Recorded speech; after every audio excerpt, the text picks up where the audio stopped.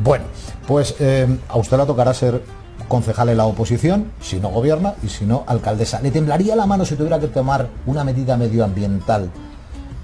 Por ejemplo, prohibir la circulación de vehículos con matrícula par o impar porque estamos en una situación de Por alerta. supuesto que no. Esto, lo- las ordenanzas están para cumplirse. Si en un momento dado hay unos niveles de contaminación que dice la ordenanza que impiden la circulación de vehículos, pues eh, tendremos que ir en metro.